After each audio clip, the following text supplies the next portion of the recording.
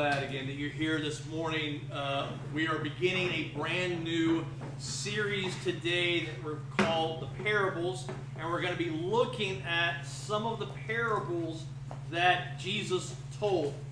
Now, to put it simply, parables are just stories with morals.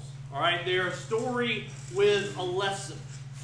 But I think if we just define Jesus' parables as moral lessons, then we actually do them a disservice.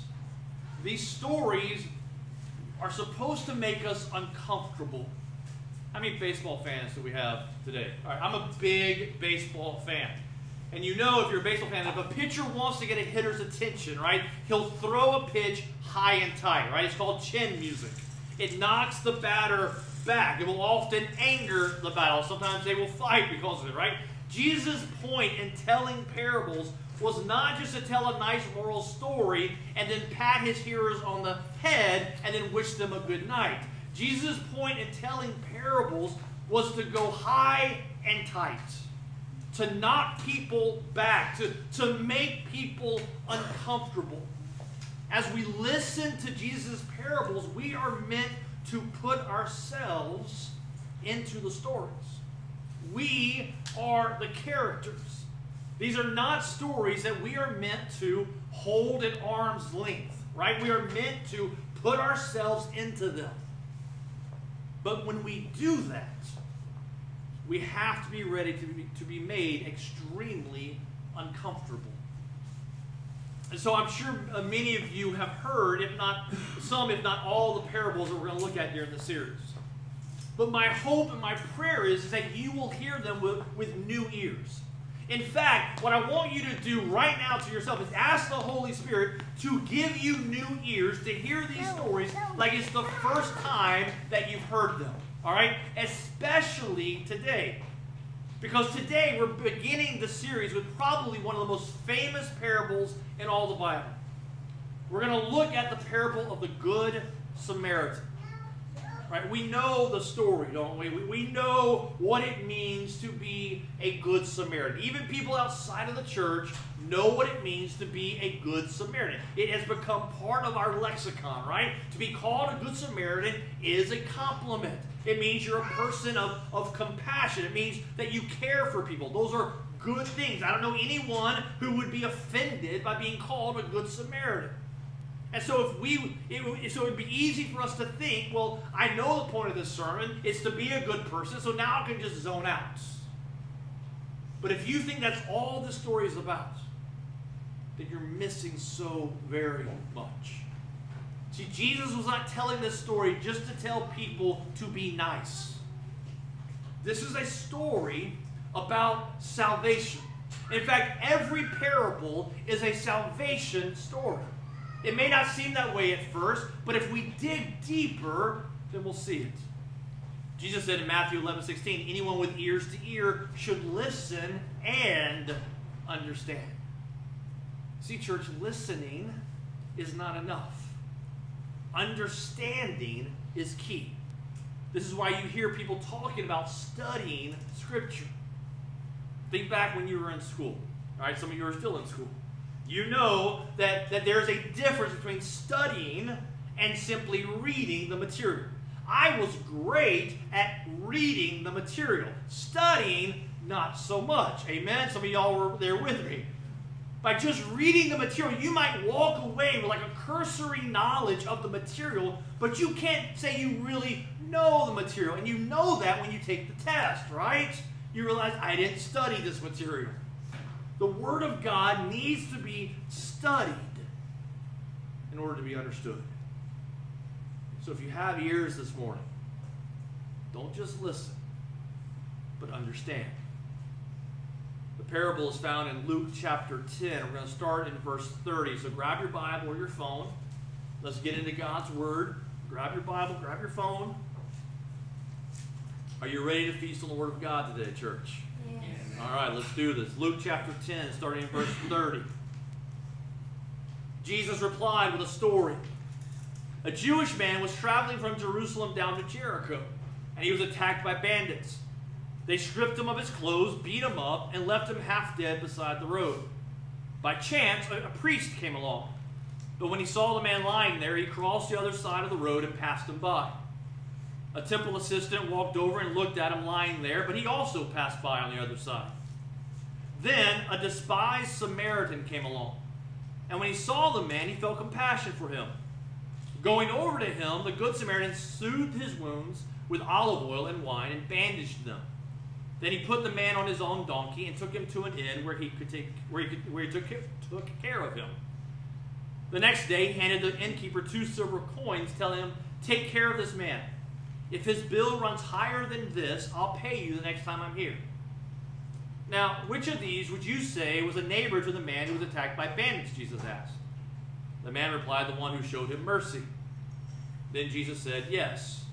Now go and do the same. Now, again, a cursory read of that tells us be kind. And again, that is one of the lessons in that story. If you see someone in need, you should help. This past week, our church bought 12 wigs and 12 headscarves to send to Venezuela uh, for women who have lost their hair due to uh, chemotherapy. Right? At a gathering church, we care a lot about helping when we are given the opportunity. So the parable of the Good Samaritan speaks directly to that. But, church, it goes deeper than that. As I said, this parable, like all parables, is about salvation. It's telling, in telling this parable, Jesus is engaging in personal evangelism. But if we just read this parable outside of context, we would never know that. So let me let me say something real quickly to you. One of the most important things for you to know when it comes to studying scripture is to always read script, the scripture right before the passage and right after the passage, right? When you're studying scripture, always read the passage right before it and right after because context is key. When we snatch scripture out of context, one of two things can happen we can completely misunderstand the passage or we don't fully understand the passage. Right? We call this proof texting. When we take scripture out of context, we can do a lot of damage. A lot of bad sermons have been preached due to proof texting. A lot of harmful sermons have been preached due to proof texting. It is vital, church, that we understand how a passage fits in with the passages around it and ultimately how it fits into the greater narrative of the Bible. And so if you will go to gatheringatl.com and click on resources, you will find a ton of short videos that will help you understand the Bible, each book of the Bible, and even more. And so in relationship to, in relation to the parable of the Good Samaritan, we need to back up a few verses today. We need to go back to verse 25. So I want us to look at verses 25 through 29. Because this is why Jesus told the parable of the Good Samaritan. Jesus didn't tell the parable just because he felt like telling it. He had a purpose. He was responding to a question, or more accurately, he was responding to a couple of questions. And the questions are the key to fully understanding the parable of the Good Samaritan. And so look at it with me. Luke chapter 10, starting in verse 25. One day, an expert in religious law stood up to test Jesus by asking him this question Teacher, what should I do to inherit eternal life? Jesus replied, What does the law of Moses say? How do you read it? The man answered, You must love your Lord, the Lord, the Lord your God with all your heart, all your soul, all your strength, and all your mind, and love your neighbor as yourself. Right, Jesus told him. Do this, and you will live. The man wanted to justify his action, so he asked Jesus, And who is my neighbor? Now look at verse 25 again. One day, an expert in religious law stood up to test Jesus by asking him this question. You see, essentially, it was a lawyer asking this question. He was a religious lawyer. He was an expert in Old Testament law. And because he was an expert, he was convinced that he could get Jesus to say something that went against Jewish law.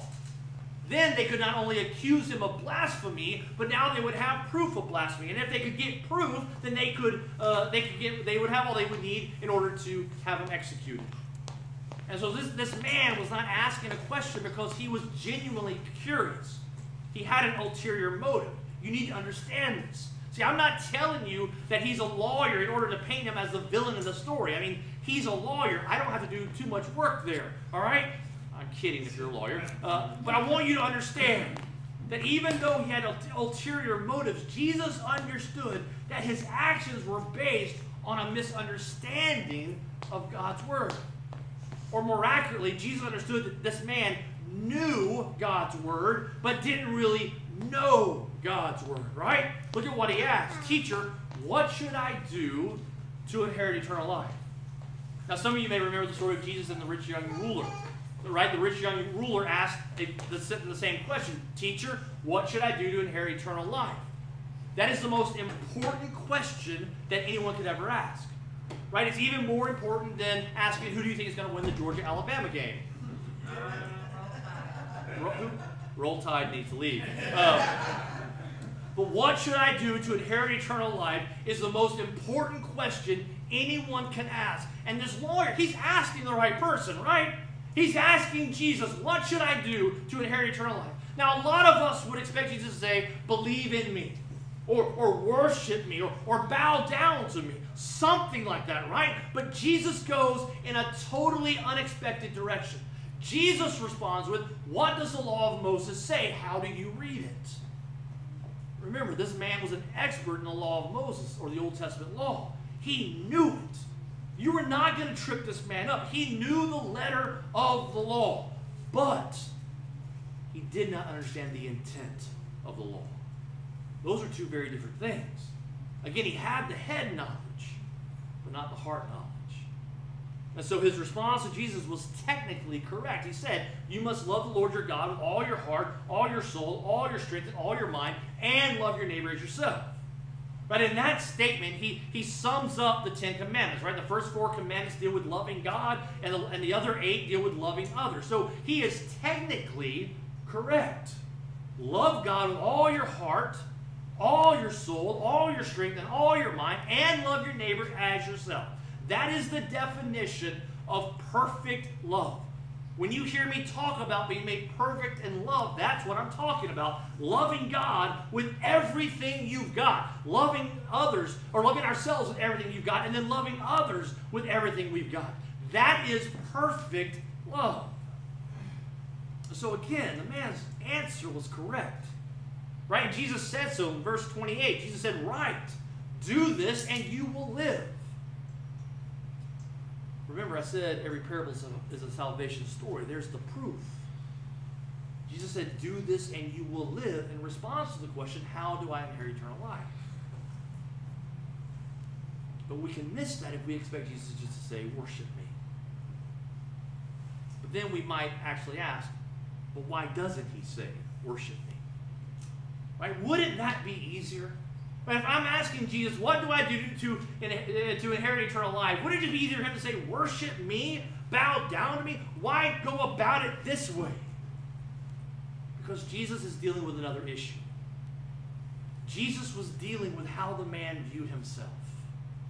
Right? One preacher in, in relation to this story said, There is no good news unless the man accepts the bad news. See, this man had no interest in looking himself in the mirror. The proof is in verse 29. It says, The man wanted to justify his actions. It's so easy for us to rush by those words. The man wanted to justify his actions. What does that mean? Look in, uh, in verse 29. It says, The man wanted to justify his actions, so he asked Jesus, And who is my neighbor?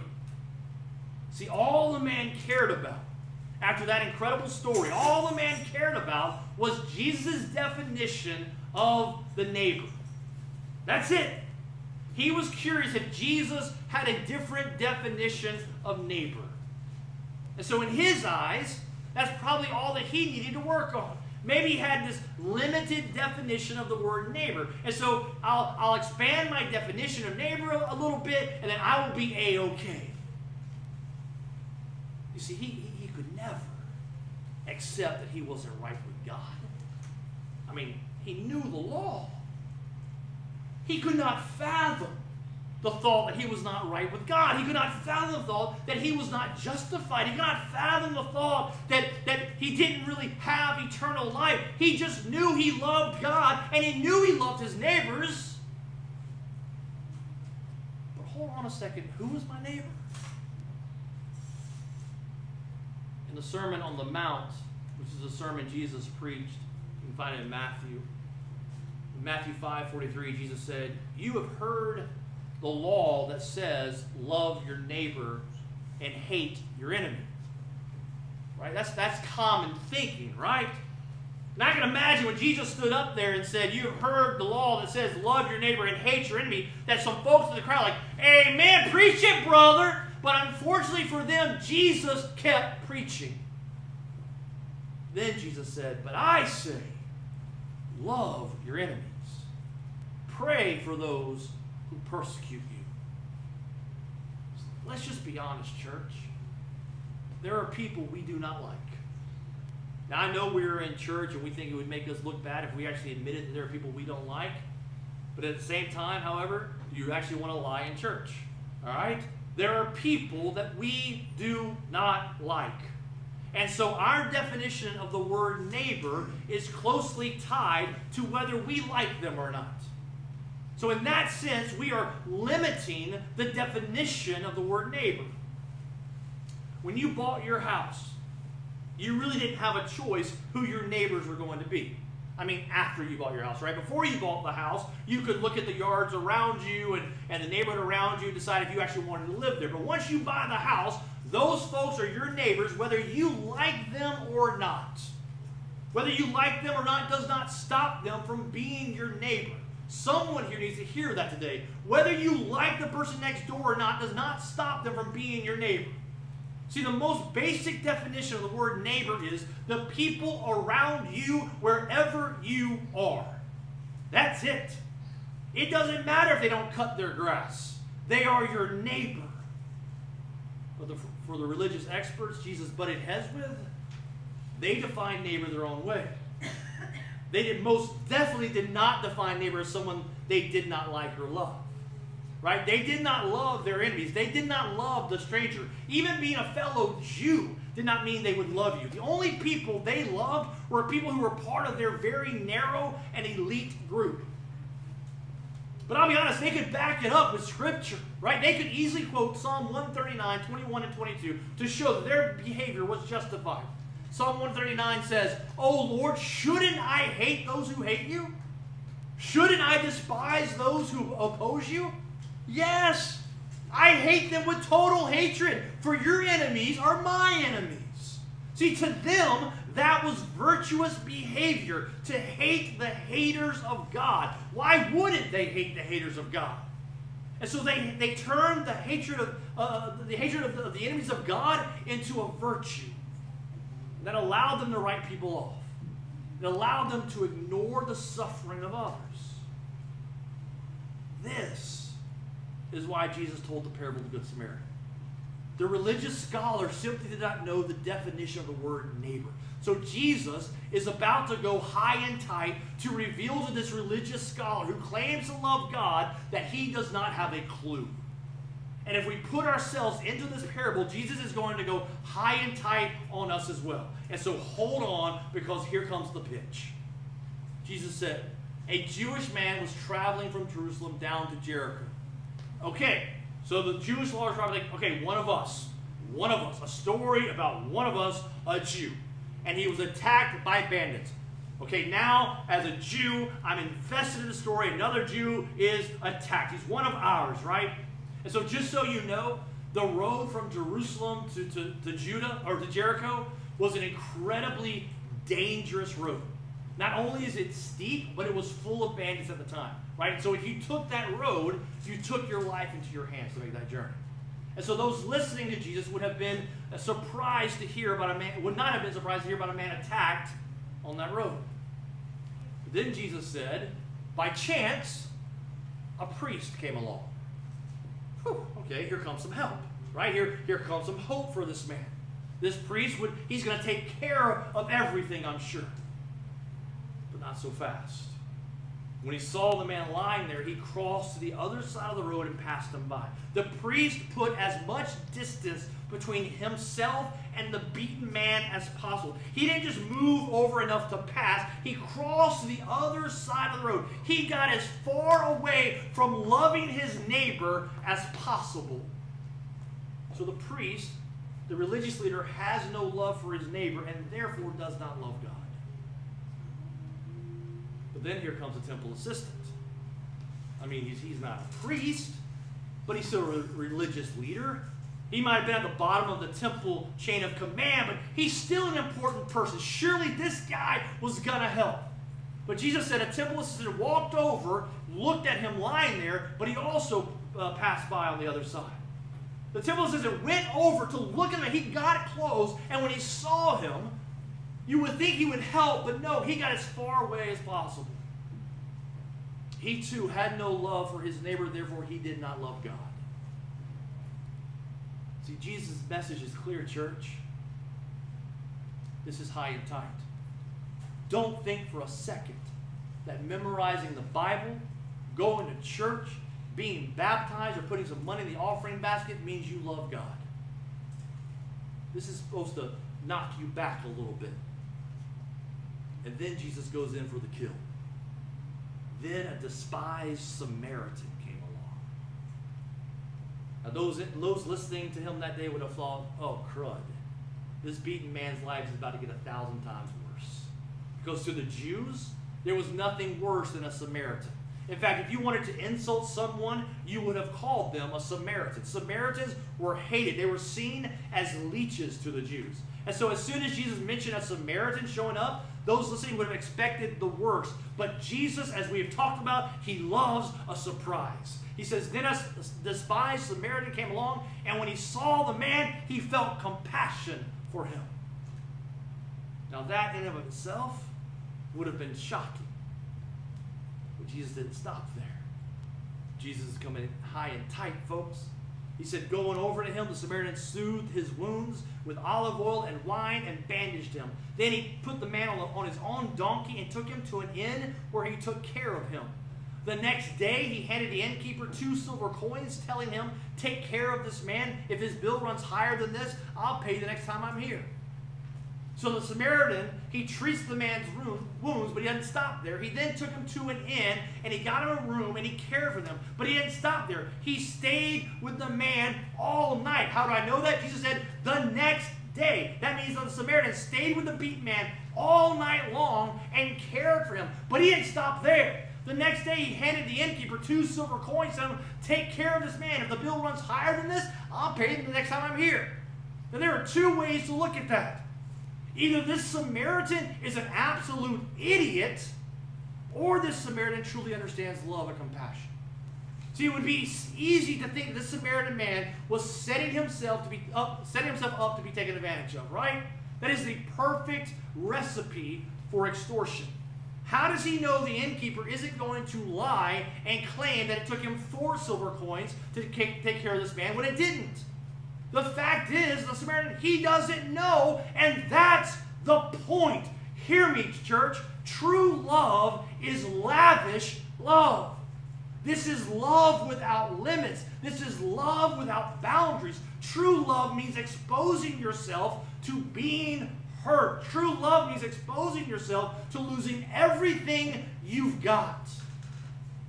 True love means giving until it hurts if our love for God and for others doesn't make us uncomfortable or put us in uncomfortable situations, then we should question our love for God. After all, this is what our God did for us. Our God loved us enough to take on flesh. Our God loved us enough to allow himself to be tortured and killed. This is lavish love. And let's be honest, it's how we love ourselves, is it not? We love ourselves lavishly. We have no problem spending money on ourselves. We don't even question our own motives. But as soon as we are invited to spend money on someone else, we're asking for motives or looking for reasons not to give the money. We will spend all the time we want on ourselves. But as soon as someone asks us to spend a little of our time on them, well, that's a different story. We're called to pour ourselves out just as Jesus poured himself out for us. Isaiah 40 31 is one of the most popular verses in all the Bible. It says, But those who trust in the Lord will find new strength. They will soar high on wings like eagles. They will run and not grow weary. They will walk and not faint. But here's the problem. So many people say they love Jesus, but they never really get to a point of needing new supernatural strength because they aren't pouring out everything they've got. We are called to love so lavishly that it requires the power of the Holy Spirit in order for us to keep going. But not only to go on, but to do so without ever growing tired of pouring ourselves out. This is how we love the Lord our God with all our heart, all our soul, all our strength, and all our mind. And this is how we love our neighbor as ourselves. This is the only way. That's why Jesus ended his story with a question.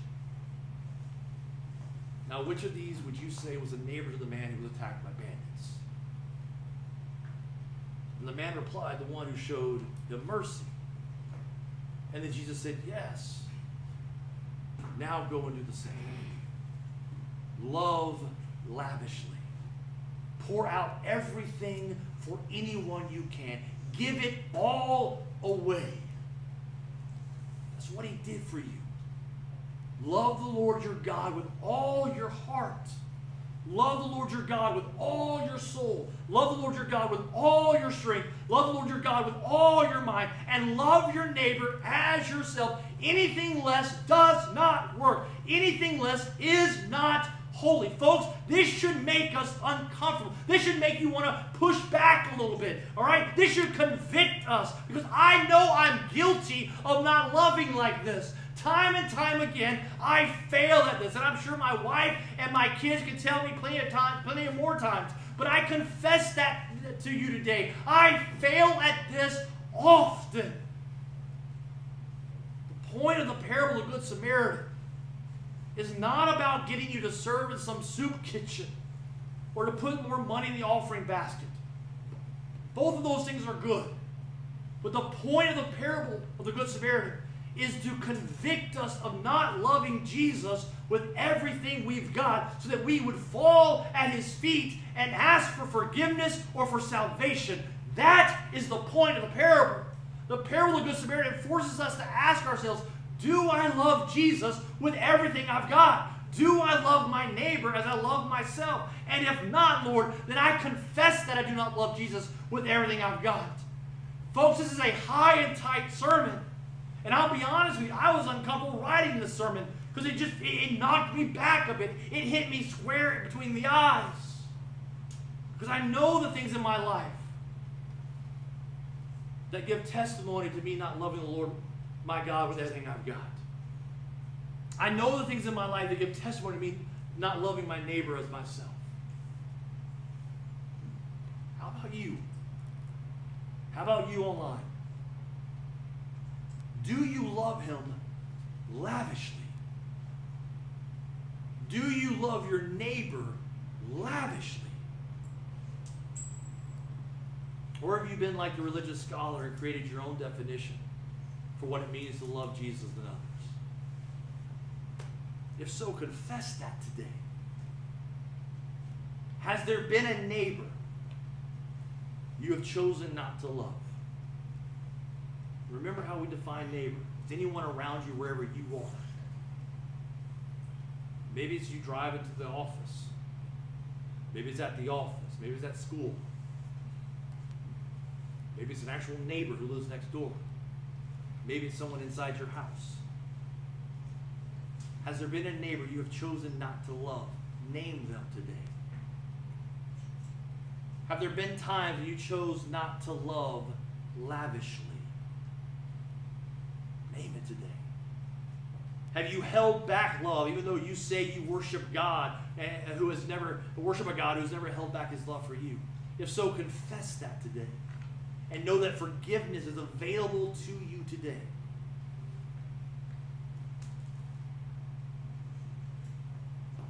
And now the really uncomfortable part. I want to invite you to join me in a prayer. I want to invite you to join me in a prayer where we ask for an opportunity this week or this month to be a good Samaritan. A prayer where we ask for an opportunity where we are, we, are an opportunity where we're given an opportunity to, to love lavishly and that we would have the desire to do so. An opportunity where we are invited to pour everything out for the sake of another. I have no idea what that will look like in your life. Your situation will be different than mine. The question is, are you willing to ask for it? And maybe more importantly, are you willing to ask for the strength and the courage and the faith to follow through with it? Do you want to be known as someone who loves the Lord your God with everything you've got? Do you want to be known as someone who loves your neighbor as you love yourself? Do you? And I want to invite you to pray this prayer with me. I'll pray a line. I invite you just pray it silently to yourself. I won't know if you're praying it, so this is between you and God. And then I'll close us in prayer. Let's pray.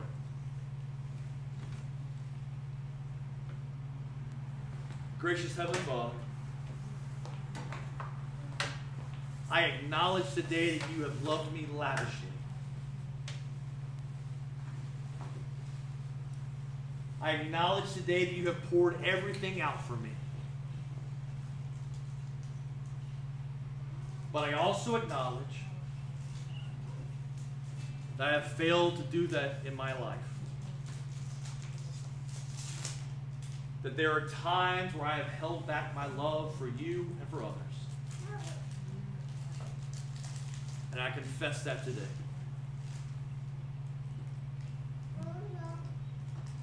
Lord, my desire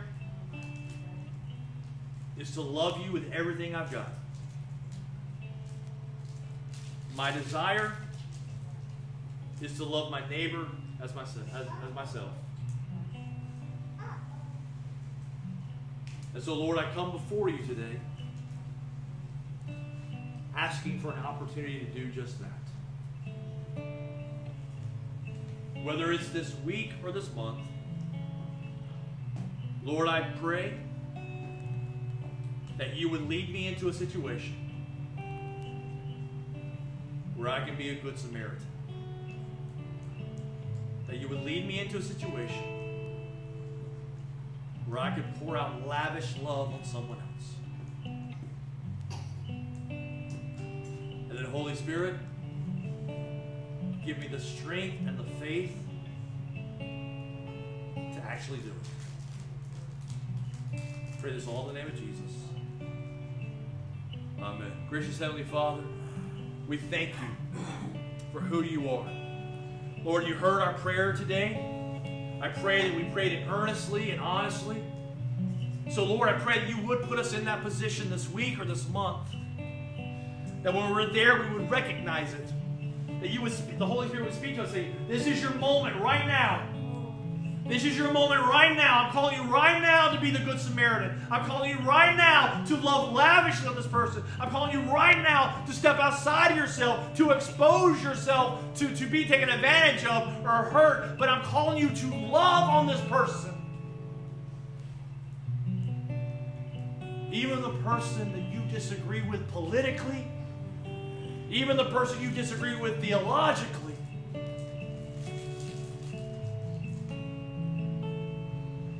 Lord, help us love them in their time of need as you have loved us in ours. So, Lord, just give us the strength and the faith to do it. So that you would be glorified. And that people would come to know that you love them lavishly as well. Pray this all in the name of Jesus.